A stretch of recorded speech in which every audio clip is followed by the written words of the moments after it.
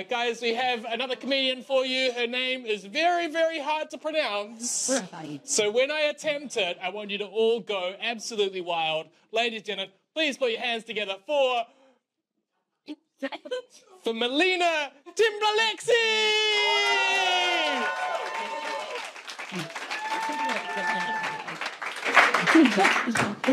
Yeah, give one more. It was correct. one more clapping. Hello, everyone. Hello, how we're doing? Good? Yeah.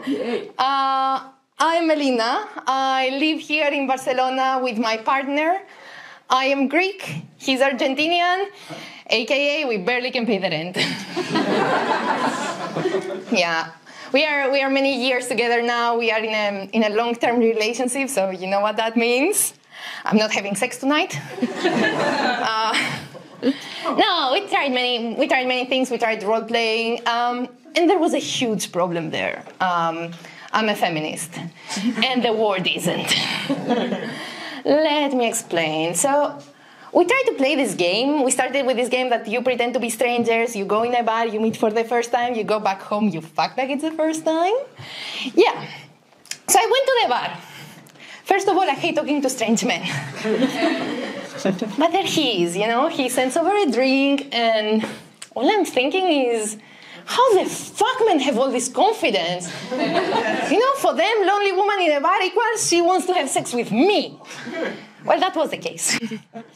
But I got angry, you know, I got angry. So I left the bar, I called my best friend on the way home, you know, in case he was following me. he was following me. So I called the police. he didn't really like that. Um, okay, then we played this game that, um, you know, the boss and the worker. And so he was the boss and I was the worker. So, you know, I entered his office, sat on the desk, I touched it with his hand. I didn't ask for a raise. I asked for equal payment with my male co-workers. He said something like that wouldn't be real enough. yeah, we were fighting for a week. Um, but then we said, okay, okay, okay, I will be the boss and he will be the worker. He was still learning more than me. so fuck this. We, we went for the um, for the nurse and the patient, and of course I wanted to break stereotypes. I wanted to be the doctor. So I left him there waiting for three hours. then I entered, I asked for 50 euros, and I left. I was thinking that's that's not okay. that's not okay. I shouldn't ask money like this from my partner. Um, so okay, without money being involved, I was like, I can be a doctor in the public healthcare system. Um, so now we have an appointment in six months. Yeah, let's see how this will go. um, I have many issues with this society. Uh, this society is slut shaming women so much. And uh, as a sci- I am a scientist. I really am a scientist. Uh, I know it doesn't show because I can actually talk to people. Uh, but I am.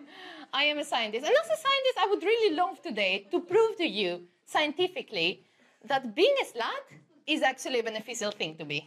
Yeah? Great. Okay. Let's go together to really primitive societies. What do we know as the first thing they would do if there was a disaster in the village? They would sacrifice a virgin. if I was living on that time and I see my best friend being thrown to a volcano for not sucking a dick, I would be deep throating the chief of the tribe in the next 10 milliseconds. I will be gang banging with the entire tribe around the volcano they threw my friend in. We see a tornado coming to the village. Everyone is looking for a place to hide. I'm looking for a dick to sit on. and then I imagine all the other women in the village doing the same thing. No, like musical chairs. but with dicks. And you know, just to make sure, I would be even fucking guys from the nearby villages.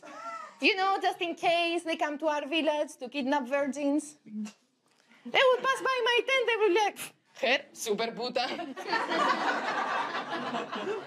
but I would survive, right? I would survive. So as a result, virgins were sacrificed, and sluttiness as a trait got preserved. And through Darwinian natural selection, crossed two generations to make us all the proud sluts we are today. Thank you.